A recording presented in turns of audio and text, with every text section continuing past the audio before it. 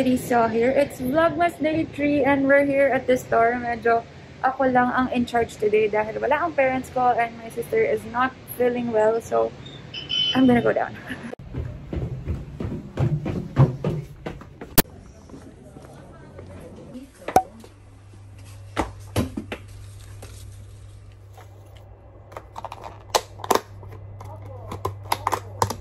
Ka, may pagkain sa baba.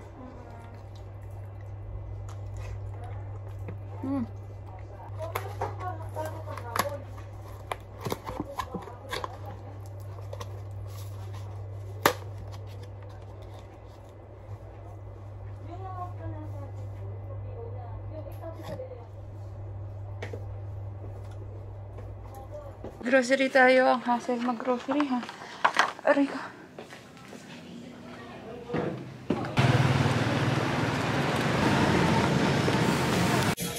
Yan na, nasa grocery na tayo guys. Pinupush ko talaga na walang push-push.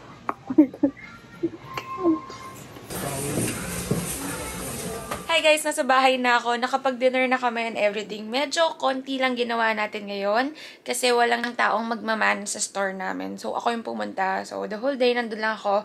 Pero, right now guys, dito pa lang mag-uumpisa talaga ang vlogmas natin. Medyo throwback muna tayo. Artie Santarita member kasi ako dati. If you don't know Artie Santarita, Artie Santarita is a Kapampangan cultural group. And dati, sing, dance, acting, naggaganon kami. Meron kaming stages, meron kaming plays na ginagawa every December. And now, before nung December live nila, nagpapa-throwback sila. Lahat ng throwback concerts namin. Nakakaiyak. Ika'y pamanuli. Ayan guys, nagpaka-singer na tayo. Hindi ako super singer nung nasa Arte Santa. Ako, nasa alto lang ako kasi mababa ang boses ko. At nung nag-RT ako, as in no dance at all. Pero what's so funny is that nung first weeks ko na nag-start sa Arte Santa yung sister ko kailangan sumama sa practice para i-memorize yung steps at i-tutor niya ako ng extra-extra sa bahay kasi parehas kaliwa ang aking paa. Pero after Arte Santa ayun, nag-hip-hop na ako and I danced all the way nung high school. So, I'm so thankful for them kasi kung wala yung Artie Sandarita, feeling ko geek na lang ako ever since. Feeling ko lagi na lang ako nagbabasa ng books and everything at wala akong talent. Pero nung nag-Artie Sandarita ako, I found my talent and I found that talent could be developed. Hindi lang siya you're born with the talent or what. So, yun, a little sharing. But today, ito, magpapakasenti muna ako at papanoorin to bago tayo gumawa ng kung ano-ano man. So, ayan. Magpakasenti muna tayo. Tororo! Yeah! Kanyaman aning Pasko. Na na na na na na. May Duman Festival daw sa siya yung Duman Festival, December 5, 2020, 6.30pm, through Facebook Live. So, catch Artie Santa Rita sa Duman Festival nila. Hanap tayo sa online. Santa Rita, Malen Kuyan, Pampanga! Pampanga!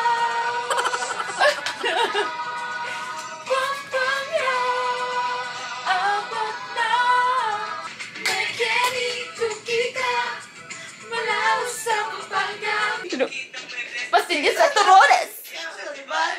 Barakal! Guys, kakasayaw namin ng ate ko nakatulog kami.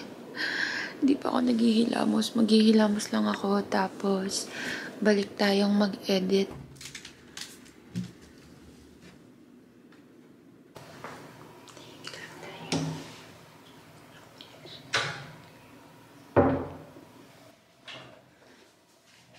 Yan guys, maghihilamos lang ako. Medyo tahimik tayo kasi papagalitan ako ng mami ko kung gising pa ako. Ngayon pa lang ako maghihilamos. okay, hilamos lang ako.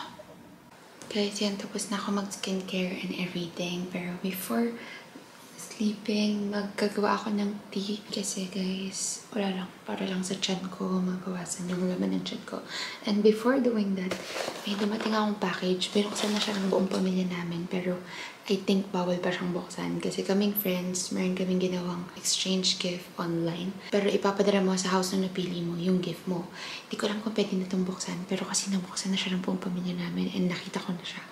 Thank you so much, Aika, my friend. Kaya pala chinat mo ko nung isang araw. Nagkamali ka ba? Pero ayun, this is from Aika. Merry Christmas.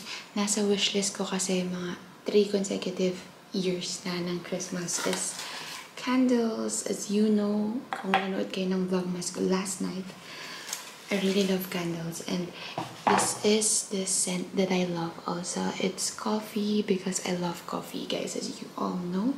Kung nakita nyo din sa vlog ko kahapon, I really love coffee and it's really my escape from all the stressful things happening. So, and ang bango ng pagka-coffee nito. Hindi katulad ng coffee na binuksan ko kahapon. Ito smells like yung, alam niyo yung pag bumili kayo sa Zago, yung amoy ng sago ng Zago. Ewan ba't yun yung smell pero ang sarap ng amoy. I'm gonna try to open this siguro when malapit na yung Christmas para ma-feel ko naman na binigay ito ng Pasko talaga. So, yan. Let's keep it first. Baka magalit yung friends ko. Binuksan ko na pero nabuksan ko. Now guys, let's make our tea. Hala siya, gagawa dapat akong tea. Ito kasi yung lalagyanan ng tubig. May tubig pa ba? Oo. Pero may ganito, shucks. Isip tuloy ako. Titiba ako, magbibir ako. Alam ko na. Eh, tinitingnan niya ako. Bibir tayo today. Oh my gosh, baka magising yung mga tao. Huwag ka maingay, girl. Sorry. Sana hindi nagising si mama. Yan guys, medyo nag-iba yung content natin. Hindi talaga to yung planned content for the day. Pero kasi I was supposed to stay at home. Pero yon things happened today and nag-enjoy naman ako and yun, busog na busog ang ate girl nyo. Kaya ito, nagpibiri tayo pang pababa din ng kinain. And nakita nyo kanina, medyo nag-reminis kami ng sister ko dahil ang tagal na namin hindi napapakinggan yung mga artist and Tarita songs. And now, dahil nag-reminis na din tayo and nag-share ako ng a little something about myself, uh, let us just continue sharing something about myself. Nagtanong ako sa Instagram ng question and answer. Sagutin natin ang mga questions nyo. Yung una kong gustong sagutin ito, uni ilang taon ka na? Kasi meron yata akong vlog na sinabi ko na ang tanda-tanda ko na ganun. Oo, yung sa unboxing ko. Yun, uh, hindi pa naman ako super tanda. 23 years old ako. Ay, pinanganak ako 1997 and yun, I feel like I'm old lang kasi like yung mga K-pop idol groups na gusto ko, like Stray Kids, ganun, X1, super bata na nila, diba? And I feel like I miss so much not being a K-pop fan earlier. So, yun, uh, kaya I feel like I'm matanda na for it. Pero, age doesn't matter, right? And I think I'm not that old pa naman. Ano po talagang ginagawa niyo sa life? Ayun, ngayon guys, honestly, hindi ko din alam anong ginagawa ko sa life. Kasi, ano, nag-graduate ako ngayong 2020. I'm a speech language pathology graduate and at this point in time, wala masyadong nagpapa-speech therapy here na kids and matanda. And ayaw din ng family namin kasi we had an encounter na muntik na kaming malagyan ng COVID sa house na to. So, medyo cautious kami sa house. So, hindi ko alam kung makakapag-work na ako ngayon. Kaya medyo binubanggahan natin yung vlogs natin kasi wala talaga akong ginagawa sa buhay ko ngayon. Medyo palamunin ako dito sa bahay kaya kung kailangan ko maglinis ng pool, kailangan ko mag-aalaga ng bata, ginagawa ko kasi nahihiya ako sa parents ko. Pero yun, I think every fresh grad this 2020 felt this way or is feeling this way na parang we're down kasi we don't know where we're going kasi after how many years of college, everything's frozen. So, parang, di ba? Pero kaya natin to guys. Swear, kaya natin to.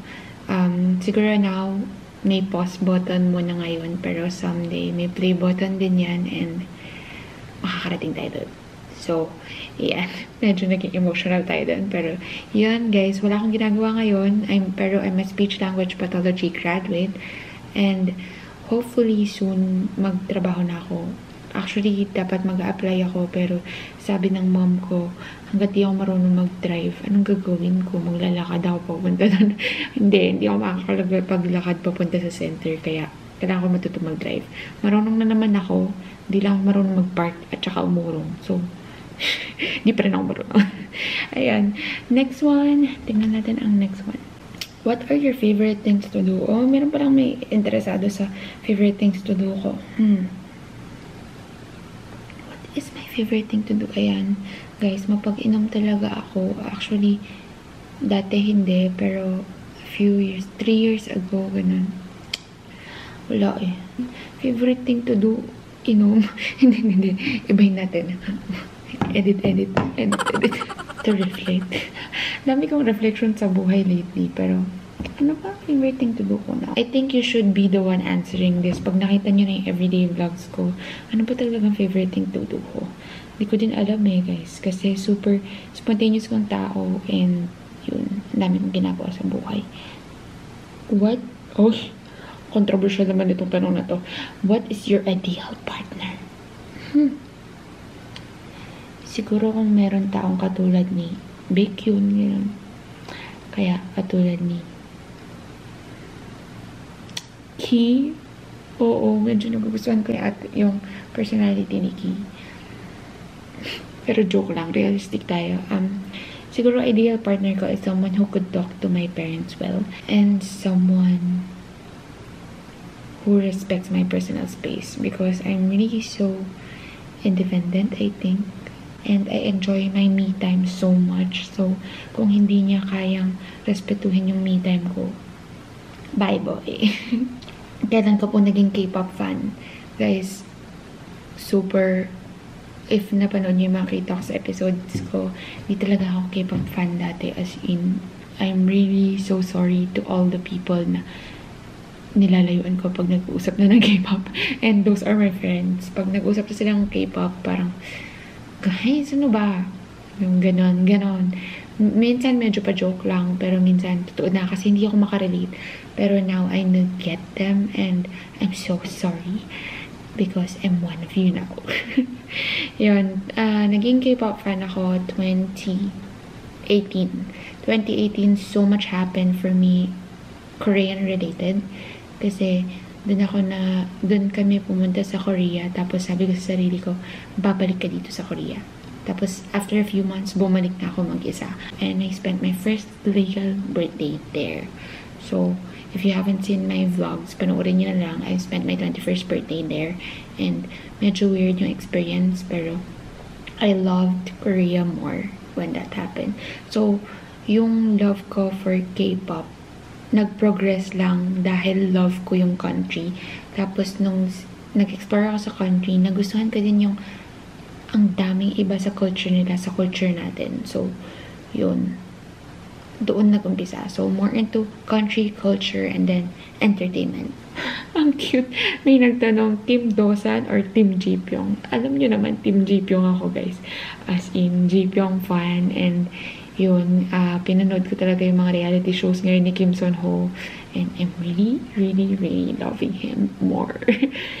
Favorite Korean food? Oh my gosh, ang hirap nito. Bibimbap. I think, oo. Bibimbap. How will you spend your holidays? Dahil vlogmas na din, ate, sabi. Mm, makikita nyo din naman sa vlogmas episodes. Panoorin nyo na lang ang vlogmas episodes. Hindi ko din alam eh paano ang holidays ngayon. Pero yun, I think meron mga bali-balita na magla-lockdown daw pag malapit na yung Pasko para maiwasan yung alam niyo na, COVID, ganun. When did you start vlogging? Hala, hindi ko alam guys kailan yung first time kong mag-post ng video. Pero what happened kasi is I'm a blogger. 2016 nag-start ako mag-vlog. Pero even before that, I usually post my outfits, ganon. Since nung time na naglo-lookbook ang mga OG lookbookers, naglo-lookbook na din ako. So that's 2009 yata yung una kong post oo, 2009, I think, 2010. Basta, yun yung una kong post sa lookbook. Pero nag-vlog ako 2016. And I think 2017 ako nag-post ng video. Pero what happened is, tigil-tigil kasi I'm doing my studies and my internship, ganun. So, tigil-tigil yung pag-post ko ng videos. Ngayon lang talaga yung consistent na tayo nagpo-post. But I posted so much travel videos na in Korea, in Japan, and solo travels, yun. And, next one, what else can we ask myself? Dito sa mga questions na pinadala nyo. Hmm. Meron ba tayong OPA? Oh my God. Ang controversial nyo naman, guys. Huwag natin sagutin to. Oh. Share a little bit of Seoul Fashion Week daw. Share a little bit of Seoul Fashion Week. Okay. Nung first time ko mag Seoul Fashion Week, wala talaga akong alam, guys. As in, meron lang akong tatlo, dalawang, oo, dalawang shows na pupuntahan. But the thing is, I don't know where to get the ticket.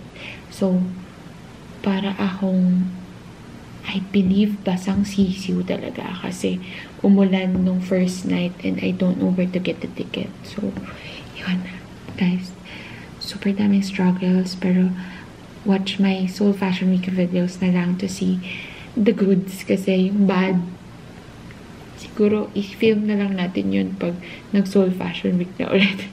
Ayan. Let's see the next one. Where are you from? No permanent address, guys. Nasa Korea ka ba? Wala ako sa Korea, guys. Nasa Pilipinas ako. Paano po mag-diet, guys? Kung niyo akong tatanungin nun, ano yung diet ko? Wag me. Not me. Oh, nakaka-touch naman yung friend ko. Nagtanong siya, kamusta ka? Ayan, sagutin natin tong kamusta ka. Ito na siguro yung last na sasagutin natin.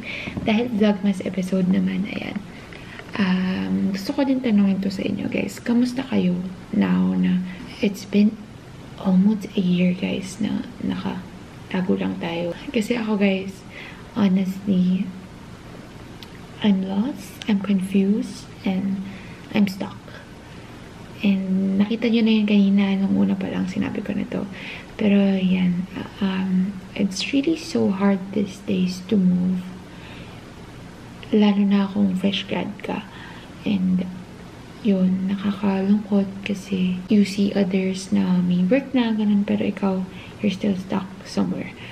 Pero, sinabi ko to sa story ko one time, eh, na maybe now it's like this, but sooner or later, things will get better. Like, nung una, I was so pessimist about the situation na parang, siguro magkaka-vaccine two years pa, ganun. Pero, yan, konting-konti na lang. Konti na lang, guys. Meron na. And, I hope things will get better. Kasi for me, guys, I have so much plans. I wanted to study pa, do my masterals, pero in a totally different field and in another country. But I couldn't do it kasi madaming travel restrictions. I don't want to be away from my family. And yun, ang hirap, diba? And uh, hindi ko pa nasasagot kamusta ako. There are days when I'm okay. There are days when I feel so stuck. I feel so lost. I feel so confused. Kasi I'm at the age where I should have my career figured out. Pero yun, um, I'm really still exploring at this time pa.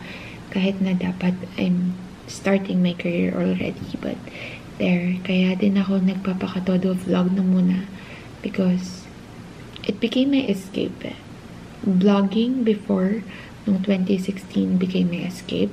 Every time I blog, every time I go out to events, that's my escape from reality. Uh, extracurricular activities has been my escape ever since. So, dati, nung high school ako, dancing, singing, student council. It was my escape from the main thing that I'm doing. And blogging has been that way for me nung college. Tapos now na I'm gonna face my life na, vlogging has been that way for me. I'm really so glad for you guys na nanonood ng vlog ko kasi yun, vlogging is my escape and simple comments na kahit hindi man ako i-praise, basta mag-comment lang sa YouTube ko, natutuwa ako. As in, I'm really so blessed for you guys. And thank you guys na kahit na I could say I'm not always okay these days, you're there. And I think this is gonna be a memorable Vlogmas third episode. Third kasi diba, I love you. yun, I really planned na third is something memorable. Pero iba yung nangyari. Pero yun, at least we can end it this way na I wanted to thank you guys for watching. Lalo na yung mga, meron akong mga nag-comment na dati pa po ako nanonood sa vlogs mo, kala ko wala ka na, ganun. Mga ganun, natutuwa ako. And meron pa mga nagme-message na uh, sa Instagram na I adore you, ganun. Tapos meron silang long messages. Super, I appreciate everything. And I'm so thankful, guys. And I hope I could keep doing this and you would stay with me. And let's get on this journey together because I know it's not just me.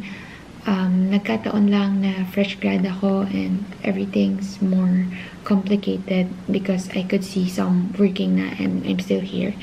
But I know everyone's facing different battles with this pandemic happening. And meron ako mga narinig na nung una, it didn't bother them. But now, they're sinking. So, yun. Um, natural lang eh. Kasi one year na tayo, di ba? Pero isipin nyo guys, sa one year na to, kahit most of us felt stuck sa trending things lang, like, madami na nag-bake sushi, madami na naging plantita, madaming gumawa ng dalgona na ang hirap naman gawin. And, guys, super daming trending na parang, what? Naisip yan ng tao. And, that's it. We were stuck, but we did so much things, even though we were stuck. So, I believe na ganun din na kahit na may darating na negative things, kahit mapadown pa tayo ng negative things na yun, somehow you will overcome it and it will be a learning lesson to you. So, yan guys, let's end this vlogmas with this note. It's very emotional. ano ba? Kanina nag-grocery pa lang ako, tapos naging ganito. Yan. Thank you so much for watching. I hope you enjoyed this video. And I hope to see you in my next videos. Tomorrow, siguro, I'm gonna prepare so much things for the days to come. So, come with me to prepare those. And siguro magpapack tayo bukas. Kasi, basta, malalaman nyo din. so, guys, thank you so much for watching. Good night, guys. See you tomorrow.